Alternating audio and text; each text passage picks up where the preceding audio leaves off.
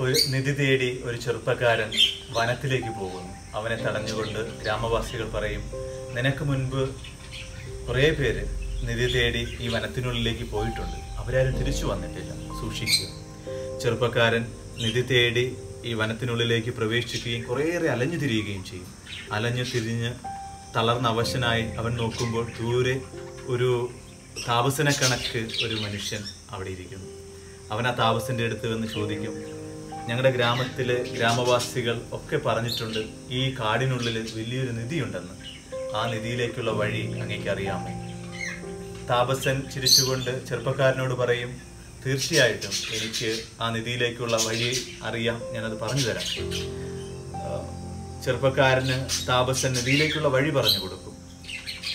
ചെറുപ്പക്കാരൻ നിധി തേടി യാത്ര തിരിക്കും. രണ്ടു ദിവസം കഴിഞ്ഞ് വെറും കൈയോടെ തിരിച്ചു വരുന്ന ചെറുപ്പക്കാരനെ നോക്കിയിട്ട് താപസൻ ചോദിക്കും എന്ത് നിനക്ക് നിധി കിട്ടിയില്ലേ?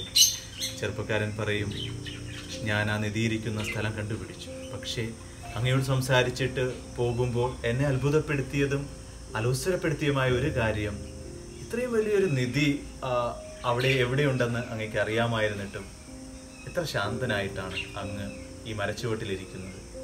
അപ്പോൾ എനിക്കൊരു കാര്യം മനസ്സിലായി. പുറത്തുള്ള ആ നിധിയെക്കാട്ടും വിലപിടിപ്പുള്ള മൂല്യമുള്ള ഒരു നിധി അങ്ങിലുണ്ട്.